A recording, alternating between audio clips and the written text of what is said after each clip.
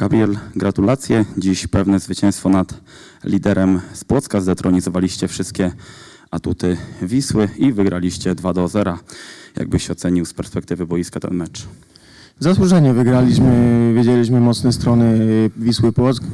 Y, No i przygotowaliśmy się dobrze do tego meczu, więc wygraliśmy 2-0, mogło być więcej moim zdaniem i cieszymy się ze zwycięstwa.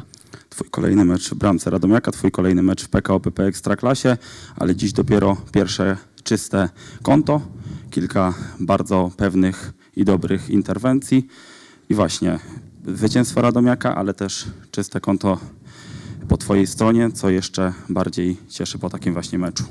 No na pewno, no, czyste konto to zawsze cieszy. Troszkę szkoda, że dopiero w tej kolejce się udało zachować czyste konto, ale to nie tylko moja zasługa, tylko całego zespołu. Teraz przed nami ciężki mecz, wyjazd w Częstochowie z wicemistrzem Polski Rakowem, później Krakowia i Lech e, Poznań, także ciężki terminarz, ale dziś wróciliśmy na zwycięską ścieżkę, także mamy nadzieję, że będziemy kontynuować tę, te, te, te kolejne, kolejne zwycięstwa. Dokładnie, przed nami trzy ciężkie mecze. Pierwszy na pewno bardzo ciężki Raków, później mamy przerwę na kadrę.